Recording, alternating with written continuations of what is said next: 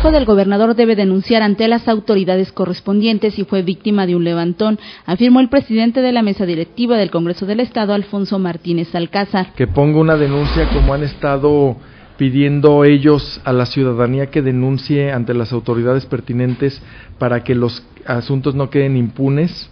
El gobernador debe de pedirle a su hijo que levante una denuncia para que se haga una averiguación y para que sea el ejemplo para miles de michoacanos que son víctimas de la delincuencia y que esto no pueda quedar en la impunidad. Por su parte, la diputada Selene Vázquez Alatorre dijo que detrás de las amenazas y acciones contra el mandatario estatal y su familia hay una exigencia de crimen organizado de cumplir con los supuestos acuerdos que el PRI en su momento hizo durante procesos electorales y consideró que la declaración del gobernante generó especulaciones.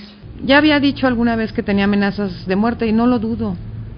No lo dudo, la verdad es que el crimen organizado rebasó todas las eh, pues todas las instituciones, este, se puso por encima de todo mundo y los partidos políticos, particularmente el PRI, se plegó, ¿no? A ellos.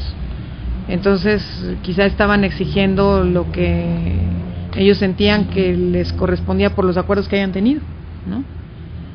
Pero pues, la verdad es que se presta más a especulación. Otra vez, una declaración del gobernador genera especulación en vez de dar certidumbre genera especulación, pero lo que yo veo es que el comisionado tiene contra la pared al gobernador.